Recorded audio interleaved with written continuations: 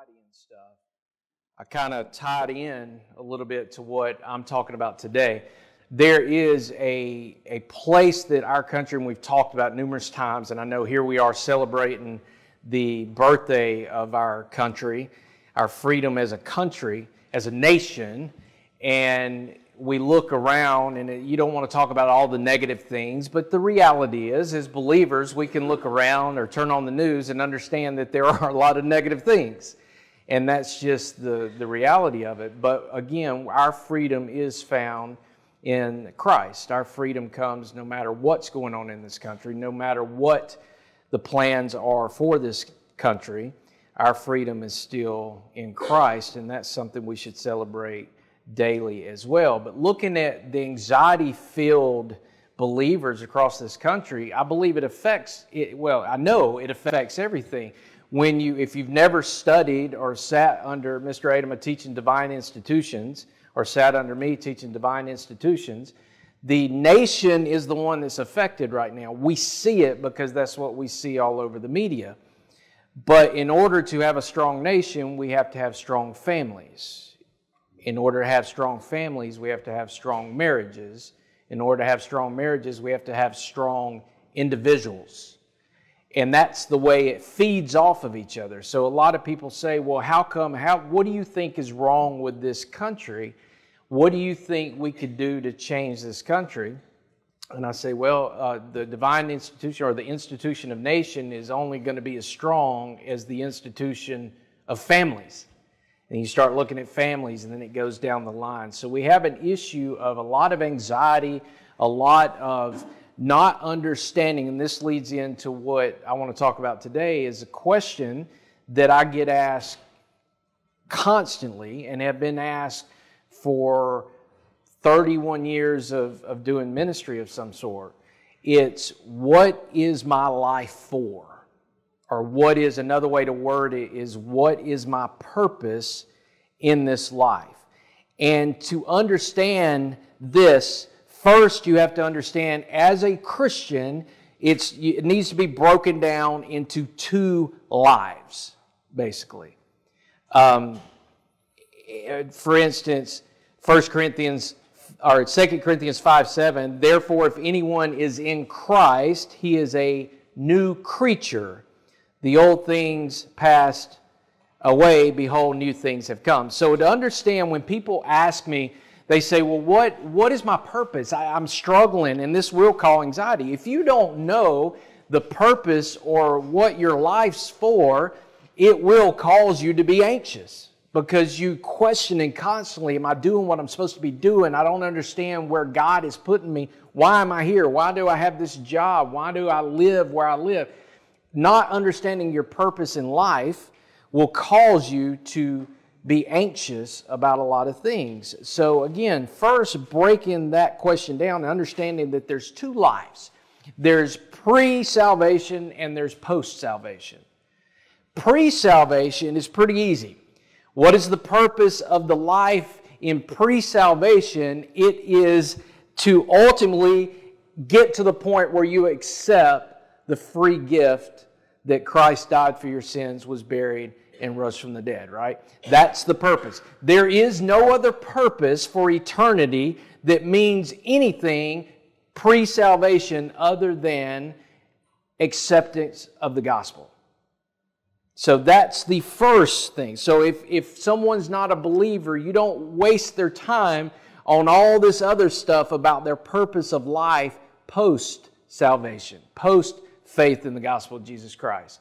So get them to the point of acceptance of the free gift that Christ gives. So understanding when someone asks you, what's my purpose? What's the meaning? What's my life for? You have to first assess whether or not they're a believer or not. If they are a believer, then, then the whole purpose of life changes. Before salvation, again, the only purpose in life is the acceptance of that free gift. Because here's the thing there is no hope or purpose. Once the free gift is accepted, then the hope and purpose of your life completely changes. It's it's a new life. Like I said in 2 Corinthians 5.17, you are a new creature. You are born again, right? In other verses, John 3, 3 and 1 Peter 1.23, and it talks about the newness and all these things. So understand that I'm talking to you as believers. What is the purpose? What is your meaning in this life? Because I believe that all believers if we understood more ultimately what the purpose is in our life, we could change this great nation. If we all understood and pursued the purpose that God has for our life, we could watch this nation change back to Him. Purpose and meaning begin the instant you put your faith in the death, burial, resurrection of Jesus Christ. So, what is that purpose? Well, to understand it, you have to understand a few things. The first thing is you were built for purpose. Think about that. You were built for purpose. In Ephesians 2:10, for we are his workmanship, created in Christ Jesus for what? Good works, which God prepared beforehand so that we could walk in them. So, what does this tell? God, God considered you personally, this is what this is telling us, that God considered you personally enough to give you your own unique personality and abilities and match them with your own unique purpose. Right? Again, listen to the verse, Ephesians 2:10, for we are his workmanship, created in Christ Jesus for good works or for service, which God prepared beforehand so that we could walk in them. So again, he personally he considered you personally enough to give you your own unique personality and abilities and match them to your own very unique purpose. In other words, you were made to order. You were made to order by God. That's one way to say it that hopefully you'll understand. God knew who you would be and what He had in store for you long before you were born. Long before you were born, God knew who you would be and He knew what he had in store for you. Who, are, who you are as a person, your strengths, your weaknesses, your likes, your dislikes. Um, all of these things are matched to what it is that He had for you to accomplish. See how that works? Again, His workmanship is what created you, right? He created you. His workmanship created you for what? Good works for service. So therefore, all the strengths and weaknesses, the likes and dislikes, the everything about you, he knew beforehand. So he picked your uh, accomplishments to match who you are. Destiny. Destiny. Great word for it. That's it. It's this is your strengths, your weaknesses, your likes, your dislikes, your personality, your God given abilities, your God given talents. Here they are. Now, here is the accomplishments that I have laid out for you through your service. It's beautiful. Two, your personal history has equipped you for your purpose. Your personal history has equipped you for your purpose. What do I mean that, by that? I mean, no regrets. Don't dwell on what's in the past because it's the past. A lot of people fail to, to buy in or seek the purpose that God has laid out for them and accomplish thing that God has laid out and match them up to because they say, well, the things in my past are preventing me from doing that. Don't let the past define who you are. Romans 8 28, y'all hopefully know it. If you don't, you should. And we know that God causes all things, all things, not some things, Not the things that he likes or the things that he don't like. Not the things that you like or you don't like or your parents like or they don't or your kids like or your pastor likes, right? He says, and we know that God causes all things to work together for what? Good. To those who love God, to those who are called according to his purpose. A lot of people leave out the second part of that verse. They see bad things based on what? Bad decisions. and then they turn around and go, Well, you know, God will work it out for the good. Well, for those who love God, and that He's called according to His purpose. In other words, those that are living, trying to serve Him and seeking the purpose that He has for them.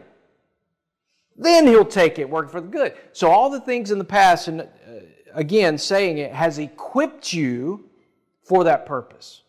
Let it make you stronger. Let God take it through your pursuit of Him and the purpose in your life. Let Him use that to turn it to good in your life. Again, no regrets. Don't dwell on it. Push forward. Third thing, it's really His purpose working in you.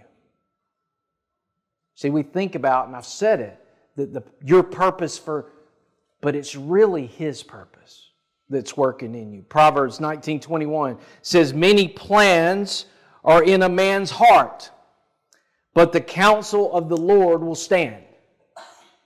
Many, pl- we have so many ideas. Well, some of us, some of you, some more than others, have so many wonderful ideas in your heart. So many not so wonderful ideas in your heart. And that's a good thing. Is to constantly be looking at how to, to improve and to grow spiritually and to, to accomplish things for Christ.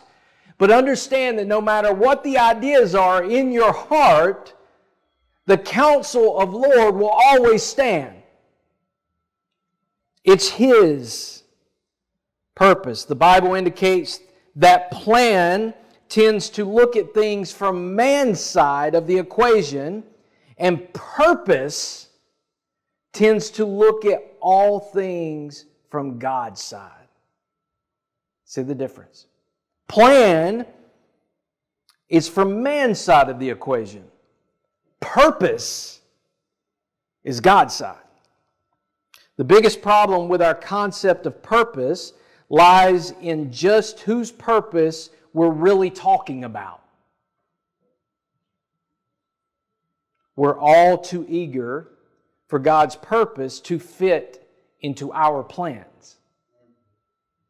We do it all the time.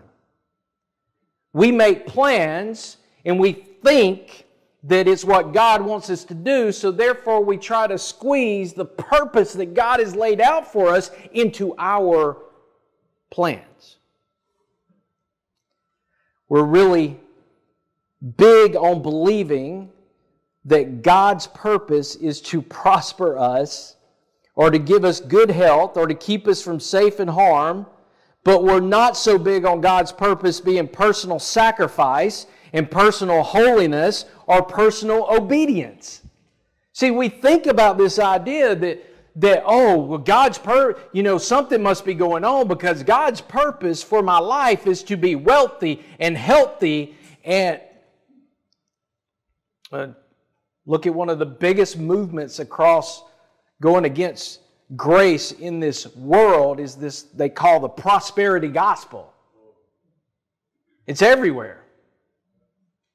Because, see, the idea is well, God's plan for my life is for me to be, His purpose in my life is me to be healthy and wealthy.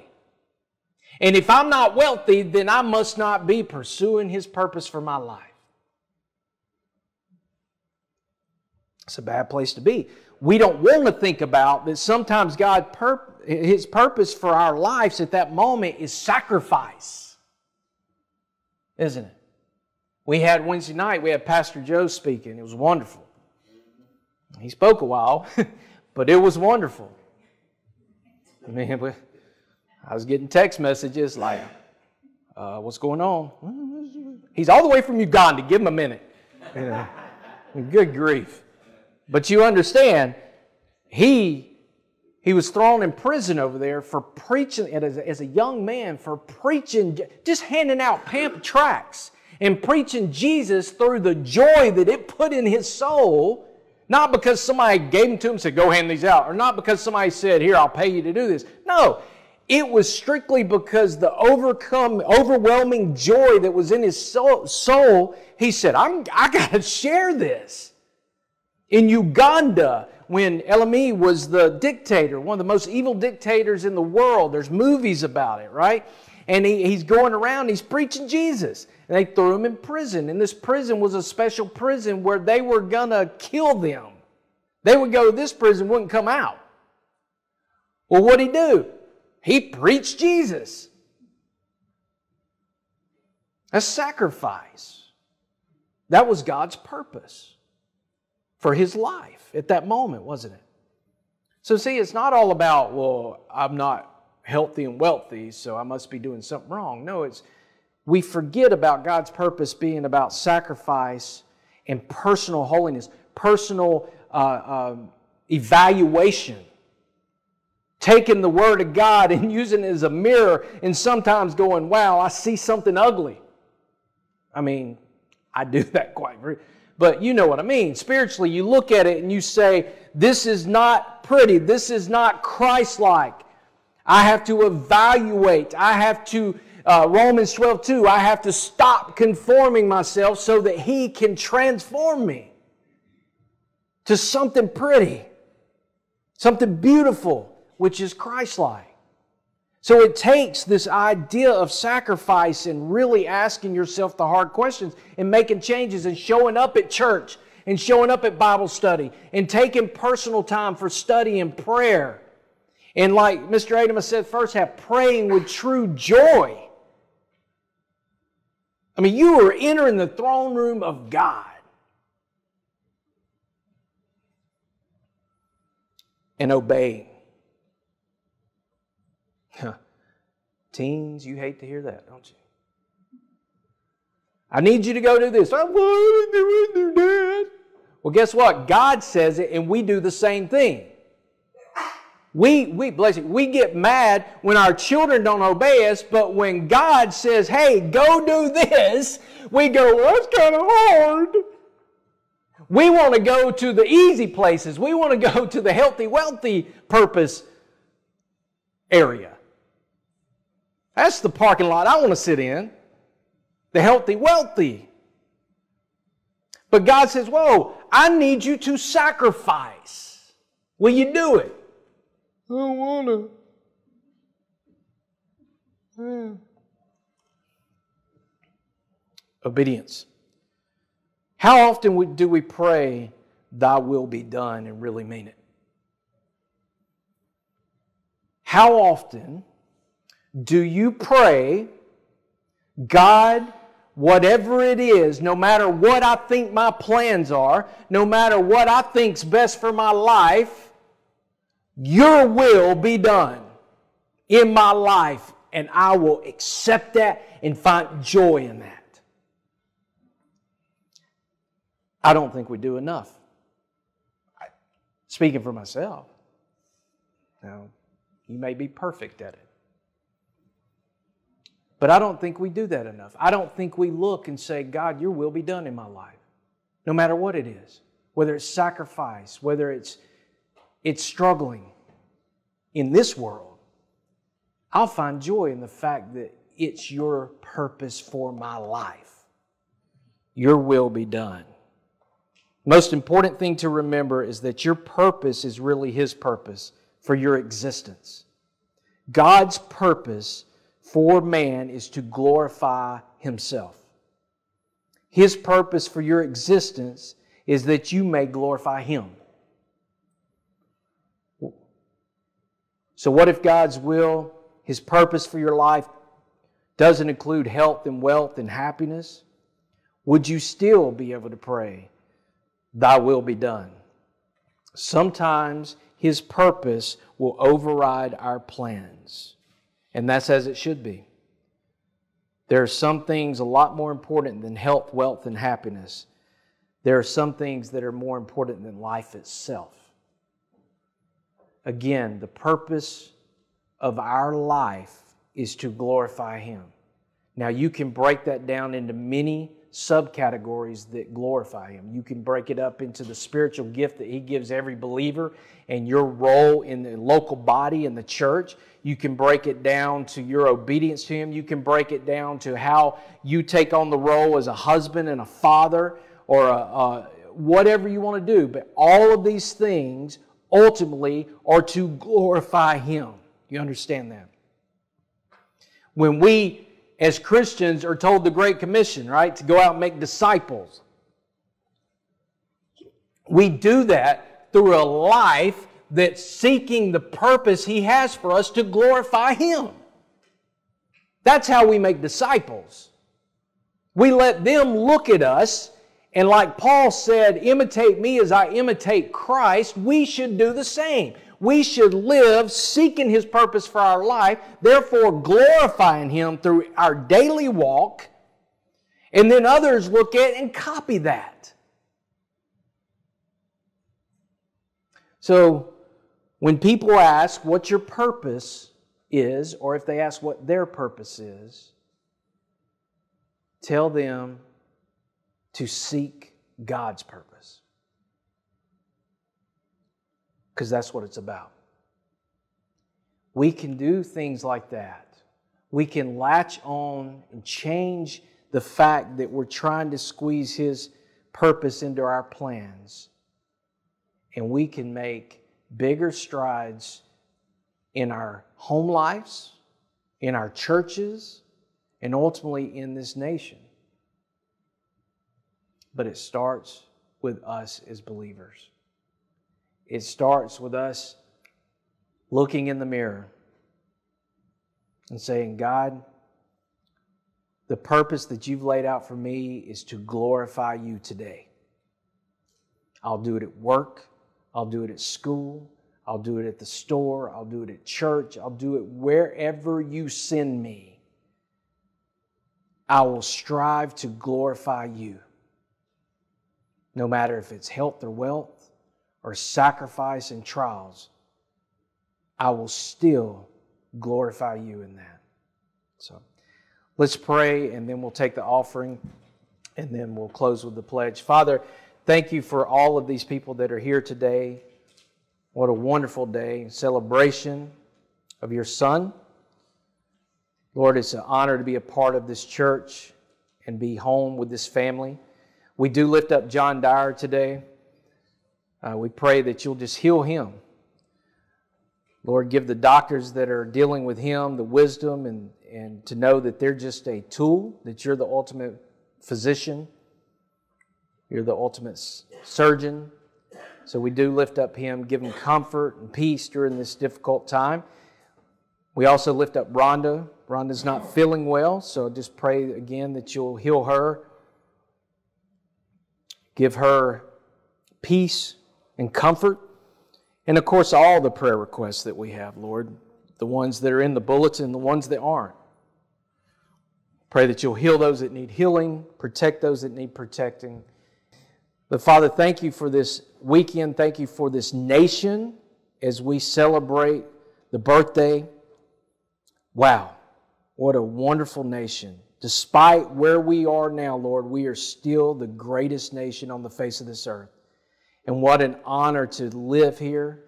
What an honor you've placed us here, and you still have young men and women that are volunteering to go out and protect the fact and the right that we're able to do what we're doing today. So we love you. Ask all these things in Jesus' name. Amen. I was trying. I was trying. Rick Broadhead, would you lead us in the pledge, please? Attention.